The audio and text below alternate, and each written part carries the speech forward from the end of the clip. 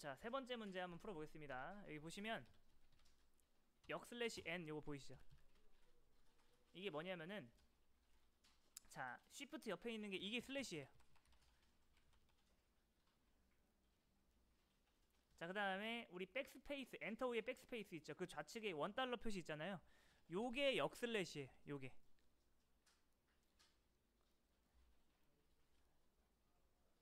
이거를 그냥 역 슬래시라고 아시면 돼요.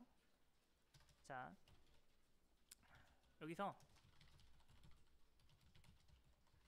여러분이 안녕 한 다음에 여기다가 역 슬래시 n 한 다음에 안녕 하면은 이게 화면에 그냥 이렇게 나오는 게 아니라 요거는 new line, 새 라인이라고 해가지고 이런 식으로 추, 출력이 됩니다.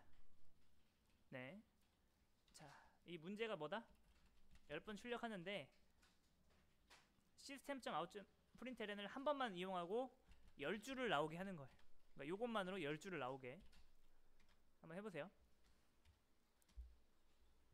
자, 풀어보겠습니다.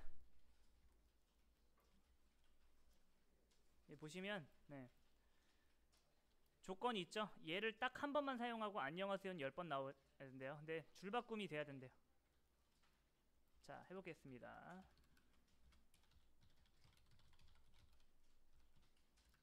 요거를 요거를 제가 둘, 셋, 넷, 다, 여, 일곱, 여덟, 아홉, 열 엔터 하면 이렇게 나오는데 요 사이에 줄바꿈이 있어야 된대요. 그러면은 어떻게 한다? 여기다가 줄바꿈 하고 싶은 곳에다가 그냥 n을 쓰면 안 되고 역 슬래시 n을 쓰면 돼요. 요거를 요 사이에 적절하게 넣어주면 되겠죠.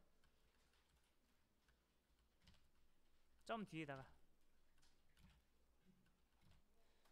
자 여기서 주의할 거는 마지막엔 넣을 필요가 없다는 거예요. 이 이게 ln이 newline이라는 의미인데 요걸로 하면은 알아서 마지막에 얘를 붙여줘요. 요 ln이 그 뜻입니다. 아무튼 마지막은 할 필요가 없어요. 컨트롤 엔터 실행하면은 이제 이렇게 나오겠죠. 됐습니다.